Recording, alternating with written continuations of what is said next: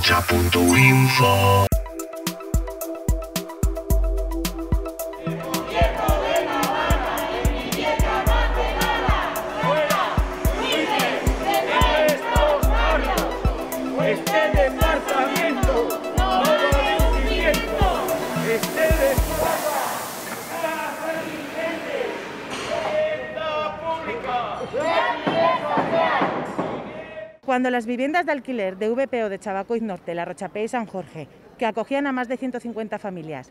fueron vendidas al Fondo Buitre Testa Residencial, el Gobierno de Navarra no ejerció su derecho de tanteo y retracto, por el cual habrían podido adquirir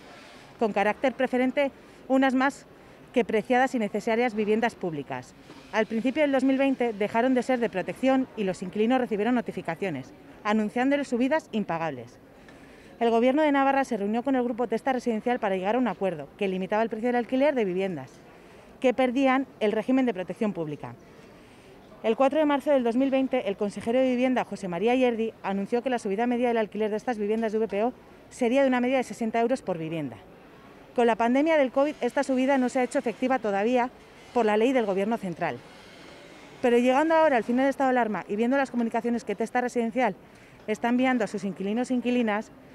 indicando cuál va a ser el importe que deberían pagar la plataforma de afectados por la hipoteca, hemos analizado los ingresos, alquiler y subvenciones, en un muestreo de unas 50 familias afectadas. Y podemos afirmar que la subida media real es de 91 euros, un 50% más de lo que el Gobierno Navarra prometió que subiría. En el caso más favorable es de 74 euros, y las familias que no tienen subvención, las subidas oscilan entre 150 y 200 euros mensuales. Queremos destacar que son familias de ingresos muy limitados y que en la mayoría de los casos los únicos ingresos son la renta garantizada o una pensión, por lo que la cantidad de más a pagar supone una subida de entre 15 y un 20% de los ingresos familiares. Incluso algunos inquilinos están recibiendo cartas denegándoles la renovación y pidiéndoles el desalojo de los inmuebles cuando el Gobierno de Navarra prometió que todas las familias iban a poder permanecer en sus casas.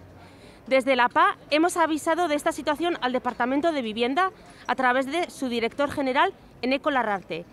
Pero la respuesta ha sido cuestionar la veracidad de las subidas que las familias denuncian que padecerán y dar por finalizadas las negociaciones con el fondo. Por lo tanto, exigimos al Gobierno de Navarra que no se desentienda de sus ciudadanos y que se comprometa a analizar cada caso en particular como prometió, para garantizar que estas familias no tengan que abandonar sus viviendas, puesto que no pueden acceder a alquileres privados y el Gobierno de Navarra no posee vivienda pública donde realojarles.